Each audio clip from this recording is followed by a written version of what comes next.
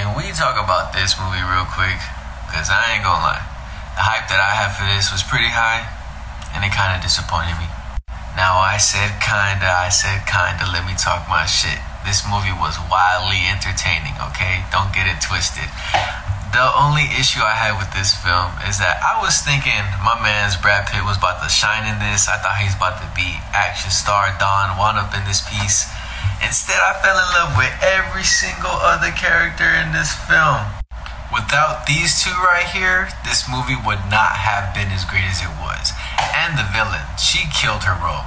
I just felt that the movie had better side characters than the main character, which is really odd in some situations because the other characters had better motives, they had better comedy, they had better action scenes. I just felt like they left my man high and dry.